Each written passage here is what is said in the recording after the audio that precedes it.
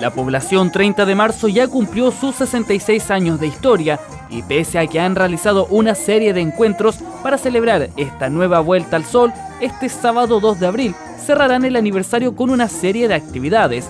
La jornada comenzará con dos funciones de circo en la cancha ubicada a un costado de la sede, es decir, en la intersección de Brockman con Orella. La primera será a las 13 horas y la segunda a las 16. Otra de las actividades será la tradicional Feria de las Pulgas, la que estará ubicada en la calle Las Palmeras, entre Samuel García y Luis González.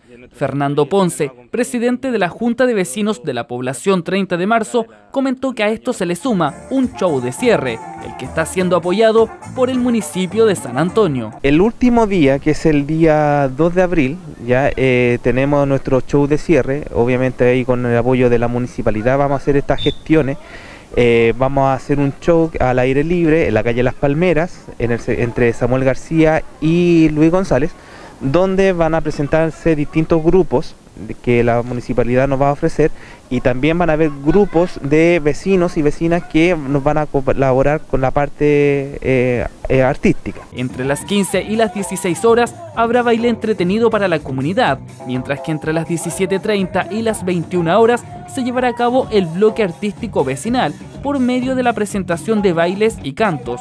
Al término de este último, se dará inicio al bloque de ceremonia, en donde habrá un saludo protocolar y la entrega de diplomas que reconozcan a algunos vecinos y vecinas del sector. Fue el presidente de la Junta de Vecinos quien reiteró lo informado. Esta actividad va a comenzar desde las 10 de la mañana hasta las 12 de la noche. ¿ya? Va a estar todo el día eh, con distintas actividades.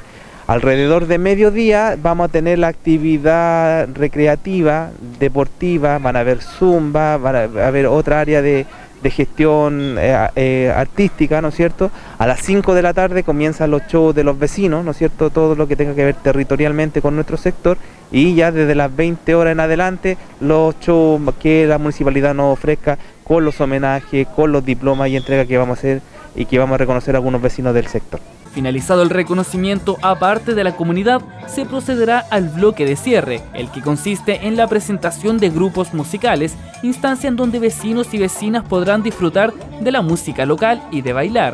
Fernando Ponce, presidente del sector, invitó a las y los residentes del sector a que participen de esta última actividad. Invitar a toda la comunidad que se acerque, es una actividad eh, bastante emotiva para nosotros, seguir con la tradición que los vecinos ya habían hecho anteriormente y que esta vez queremos abrirla a, la comunidad de San Antonio, que se acerque a participar, se acerque a, conocernos, que, disfrute de, de, lo que fue de lo que fue este año el aniversario de la población 30 de marzo. 66 años de vida, más de 6 décadas de esfuerzo, en donde las y los vecinos de la población 30 de marzo se han caracterizado por varias cosas, por la unión en tiempos difíciles de sus colores por medio de la comparsa, por contar con un centro de rehabilitación, colegios, capillas, etc.